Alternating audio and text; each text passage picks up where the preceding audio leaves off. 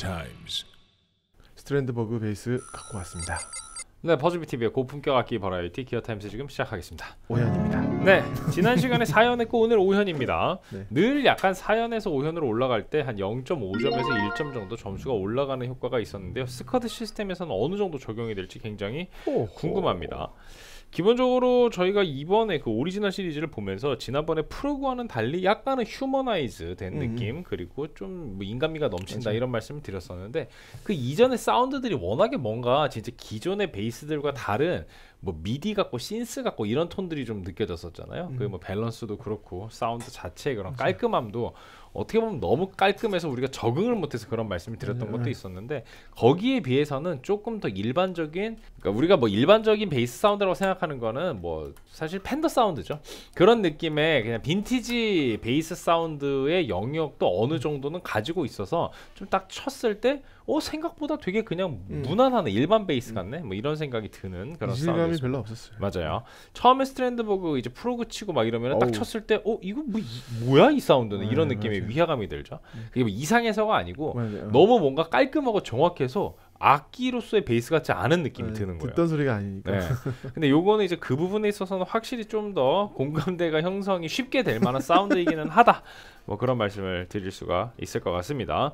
오리지널 4 지난 시간에 이제 평균 73점을 받았어요. 73.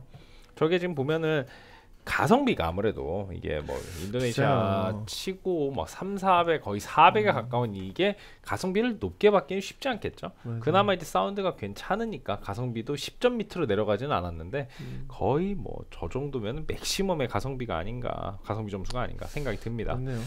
네 오늘도 아마 좋은 가성비를 받기에는 힘들 것 같은 가성비는 그게 좀 네. 385만 9천 원 너무 비싸죠. 와우. 너무 비싸 더 비싸졌어요. 와우. 이러다가 이제 400 넘어가잖아. 그럼 이제 뭔가 아. 이 심리적인 마지노선이 또 한 번 깨지면서 또 한 번 이제 가성비 논란이 또 수면 위로 나올 수 있죠. headless 매니아들이 아마 400 넘어가도 이해를 해주고 음. 나머지는 이해를 못할 것 같아요. 너무하는 거 아니야? 사실 이거 headless의 유무가 아니고 음. 원산지 이 때문에 그런 것 같아요. 이게 made in Indonesia가 아니고 사실 USA나 뭐 다른 뭐 유럽 국가나 이랬으면은 뭐 그럴 수도 있겠다 싶을 텐데 왜냐면 우리가 made in Indonesia는 늘 뭔가 약간 그 가성비가 좋고 저렴하게 기타를 만드는 그죠. 그런 기술력 때문에 우리가 인도네시아를 선호하는 거였잖아요. 근데 인도네시아에서 온 게 이 가격이면은 이제 사람들 심리적으로 메리트가 없다라고 생각하는 것 때문에 아직은 어쩔 수가 없는 것 같습니다. 아무리 좋아도 그 약간 넘지 못하는 어떤 심리적인 limit가 분명히 존재하고 있는 그 특징이 아무래도 made in Indonesia가 아닌가 다시 한번 짚어드리면서 네 스펙 살펴보겠습니다. 385만 9천 원 음. made in Indonesia 모델이고요. 전장은 102cm, 무게는 3.21kg, 두께는 41mm, 12fret 뒷둘레는 87mm입니다. top은 bookmatched solid premium flame maple top이 올라가 있고요. body는 swamp ash body가 사용이 되어 있네요. roasted maple neck에 어, 12ply carbon fiber reinforcement가 적용이 되어 있고요. 네, string lock head machine 그리고 graphite nut. 음. 네, 그리고 string 이게 spread가 36.3mm인데 요것도 한번 재볼게요, 직접. 자, 요렇게 쟀을 때 48 나옵니다. 48. 요게 여 너비가 48이 나오고요. 그 다음에 birdeye maple 지판이 사용이 되어 있고요. 지판 곡률 반지름은 20인치 508mm입니다. 스케일 길이는 33인치에서 35인치로 fan fret이 펼쳐져 있죠. 838mm에서 889mm로 넓어지는 fan fret입니다. fret은 24fret stainless steel fret이고요. 그리고 custom Nordstrand Audio Zen Blade noiseless single coil pickup이 장착이 되어 있습니다. 어, master volume 그리고 pickup blender에 톤 있고요. 3band 이퀄라이저가 있는데 middle은 이제 위쪽으로 뽑으면은 400Hz middle low가 되죠. middle low에서 플러스 마이너스 15dB 밑으로 누르게 되면은 이제 1000Hz 1kHz 여기가 이제 그 middle high 대역에서 플러스 마이너스 15dB 된다고 보시면 되겠습니다. 스트랜드버그 EGS Rev 2 피거 어, bridge가 장착이 되어 있는 모델입니다. 자 그럼 바로 사운드를 들어볼게요. 네, 5현 위주로 들려드리면 되겠죠. 네네네. 네. 자, active 상태고요. 네, 지금 EQ는 다 중립 상태입니다. 자, 5현입니다.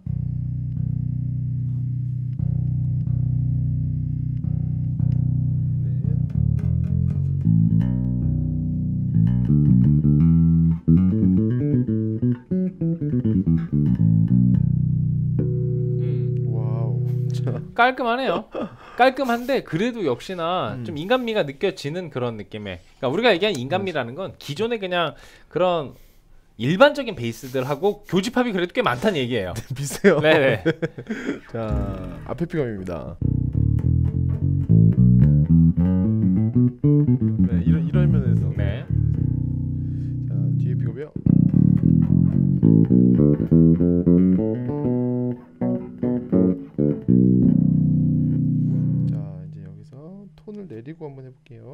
액티브에서 네. 뒤에 픽업입니다. 자 앞에 픽업이요.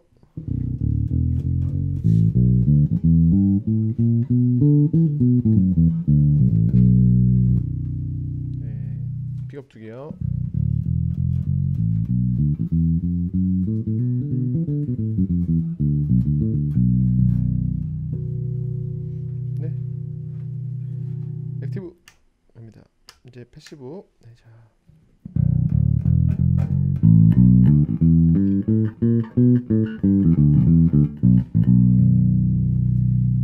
자, 여기서 음. 앞에 픽업이요.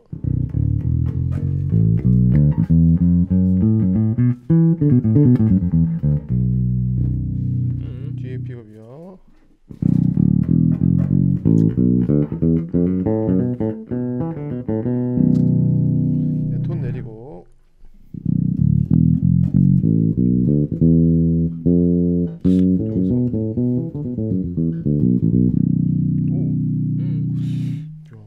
밸런스는 뭐. 네. 앞에 픽업입니다.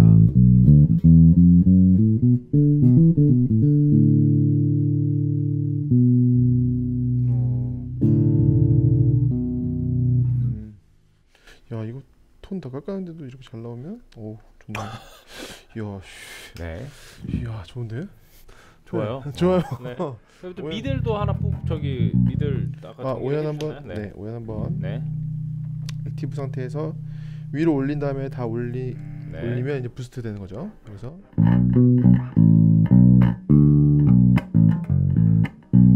여기 지금 천인가요? 이게 지금 400. 네. 아, 네. 400이죠. 네. cut입니다. 네 밑으로 내리면 이제 천대요. 자 이제 boost 미들 하이가 올라가는 느낌. 요걸 컷 시키면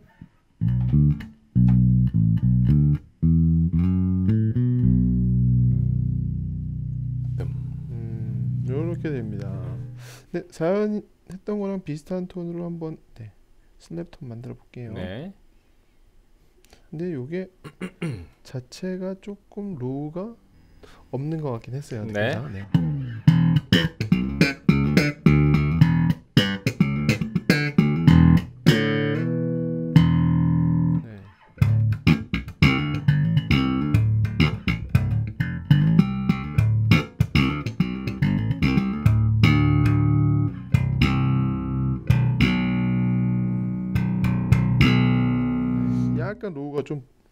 네, 아쉽죠? 그 깔끔하게 정리 정돈이 되어 있다 네. 보니까 기본적으로 뭐 밑단이 막 많고 그러진 않아요.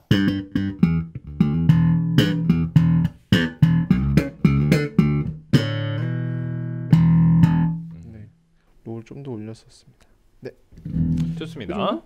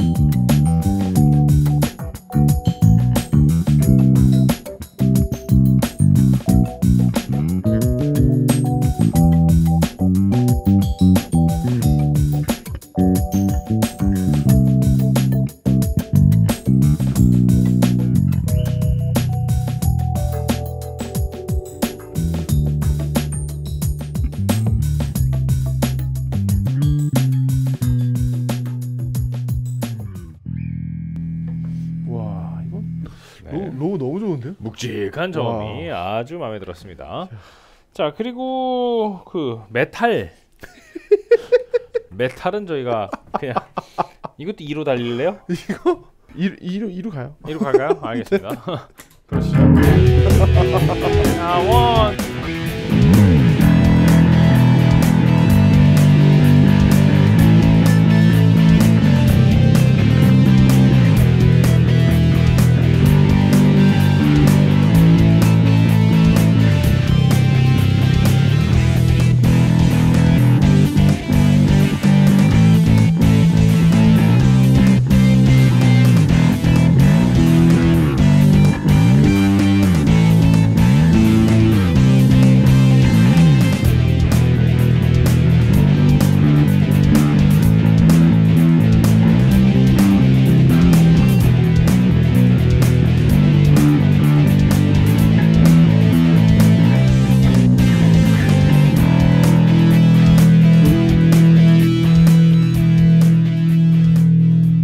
아 이거 신난.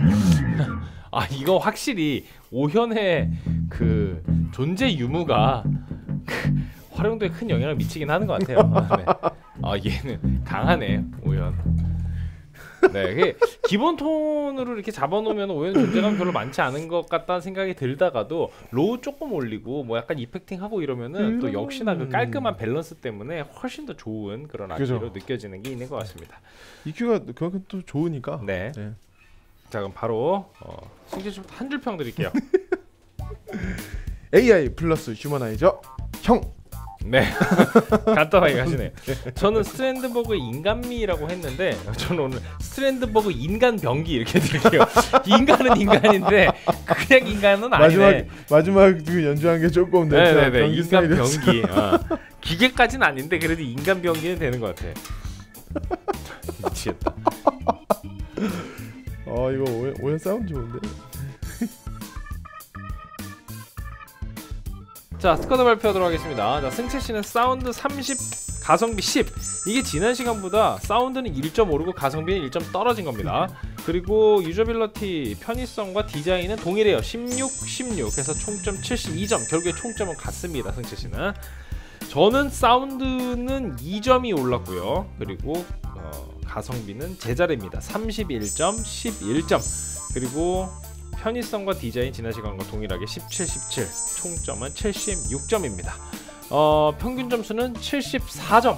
지난 시간에 73이었는데 74로 1점 올랐어요 평균. Yes. 네 어쨌든 70점대 이제 중반까지 올라갔습니다. 그죠. 꽤 괜찮은 기타라고 볼 수가 있는 거죠. 자 그때도 뭐 말씀드렸지만 스쿼드 지금 기준으로 저희가 해다 하다 보니까 어 70점만 넘어도 어 이거 괜찮다. 이 정도의 느낌이고 80점에 가까워진다. 이건 대박이다. 그러니까. 거의 그 정도 수준인 거고 한 60점대 초반 정도면은 어, 뭐 그냥 그냥 뭐 이 가격에 그냥 뭐 이 정도면 뭐 근데 60점이 안 된다라고 하면 이거는 조금 이제 좀 아쉽다. 이거는 좀 뭐 가성비나 어, 만들어야 뭐 되죠. 이런 건 좀 문제가 좀 있다. 다시 만들어야 돼. 아, 뭐 다시 만들어야 될 정도까지 50점 밑으로 가면 다시 만들어야 되는 거고 그러니까. 50점 대는 뭐 딱히 강추는 아니야. 그뭐 굳이 살라면 사. 뭐 네 돈이지 내 50점 돈이지. 밑에. 뭐 이런 느낌이 50점 대가 아닌가. 50점 밑에는 다시 만들어 주십시오. 50점 밑에 다시 만들어야죠. 50점 밑에 아마 나오면 진짜 엄청 욕먹지 않을까. 그럴 것 같습니다. 어쨌든 70점대 중반이면 정말 준수하게 잘 만든 기타 가 될 것 같네요. 자 오늘 Boden 베이스 오리지널 4와 5 73점, 74점 이렇게 점수를 받았다는 소식을 전해드리면서 네, 오늘 어, 스트랜드버그 오리지널 리뷰는 여기서 마치도록 하겠습니다. 다음번에도 승채 씨와 함께 재미있는 기어를 가지고 돌아오도록 할게요. 베이스도 뭐 여러분들 혹시 SQUAD 시스템으로 다시 한번 어, 평가를 해봤으면 좋겠다 싶은 그런 기어가 있으면은 밑에 댓글 남겨주시면 저희가 나중에 SQUAD 리바이벌 특집 같은 데서 또 그 의견들을 반영해서 준비를 해보도록 하겠습니다. 네 유튜브 구독과 좋아요는 저에게 큰 힘이 됩니다. 기어 타임스. 베이스 타임스.